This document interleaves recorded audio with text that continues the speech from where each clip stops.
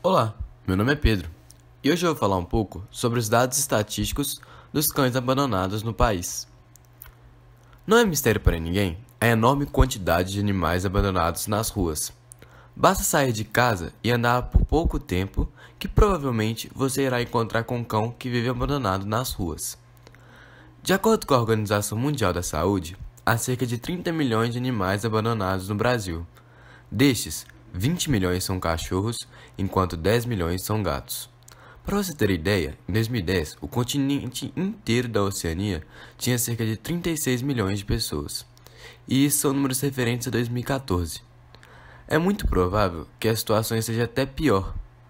Por isso, vários cientistas e vários veterinários indicam uma solução prática para isso, que seria o controle da população dos animais de rua castrando eles, fazendo as coisas para que possa reduzir essa população e, com o tempo, reduzir mais ainda o número de cães abandonados nas ruas.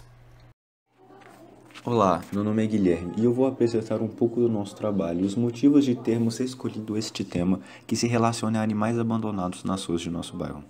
Percebemos que muitas famílias que para cá se mudaram, indo morar em apartamentos, optaram em abandonar nas ruas os seus animais de estimação por não ter como cuidar deles, pois os apartamentos muitas vezes são pequenos e sem condições de mantê-los, além das restrições dos moradores e vizinhos.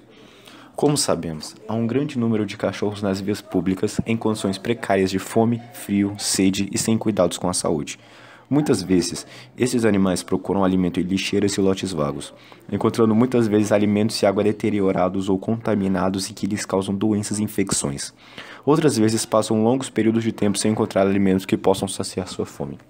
Como não temos condição de, de adotar e cuidar de todos eles, optamos em pelo menos oferecer um pouco de alimento e água, dispondo-os em alguns lugares estratégicos do bairro. Para isto, providenciamos vasilhas adequado obtido de reciclagem, colocamos uma porção de ração que adquirimos através da cooperação dos colegas do grupo e também água limpa.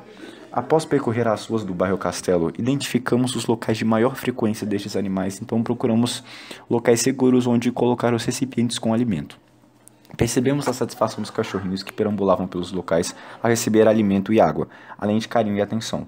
Constatamos que os animais em situações de abandono também são carentes de atenção e cuidados, da mesma forma que os animais que temos em nossos cuidados em nossas casas. Além dessas ações, percebemos a necessidade de outras ações mais consistentes e eficazes para evitar a grande quantidade de animais abandonados nas ruas. Para fazer nosso trabalho socioambiental, nós pensamos em uma forma de conseguir distribuir a ação para os cachorros sem donos, da forma que menos atrapalhasse o meio ambiente e fosse fácil para a população manter o projeto. Para conseguir fazer isso, nós pegamos potes de sorvete e reutilizamos para diminuir a quantidade de lixo jogado fora. Após, nós fizemos furos nos potes para caso chovesse, a chuva não estragasse a ação. Depois disso, nós escrevemos mensagens no pote para falar para a população continuar nosso projeto. Depois, nós colocamos a ração arrecadada nos potes e escolhemos locais na Praça Manuel de Souza Barros que possam ser vistos com facilidade e que fossem de fácil acesso para os cachorros. Olá, tudo bem? Meu nome é Arthur Ossas e vou falar um pouco porque escolhemos a Praça Manuel Souza de Barros, localizado no bairro Castelo, como local para colocar um pote de ração lá. Esta praça há muitos cachorros de ruas, porque lá tem um espaço agradável para eles correr, brincar e conviver com os cachorros domésticos que os moradores levam para eles brincarem. Nas quartas-feiras, sempre tem food truck na praça. E repare que os cachorros ficam rodeando as pessoas que estão alimentando na esperança que eles dão algum alimento para eles, mas infelizmente nem, nem sempre isso acontece. Agora você verá uma entrevista do nosso grupo com um morador do bairro que fala sobre a situação enfrentada pelos cachorros de rua. Oi, meu nome é Gabriel, eu sou integrante do Trabalho Socioambiental e hoje estou aqui para entrevistar um morador do bairro Castelo sobre a nossa ação. Oi, tudo bem? Tudo bem.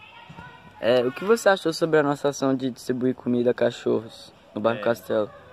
É, foi uma ação bastante beneficente para os animais na rua, porque Hoje os animais é bastante maltratado pelas pessoas e com essa ação, tanto que auxilia ele como motiva as pessoas a fazer um ato solidário, que ajudar os animais hoje, que muitos animais ficam na rua.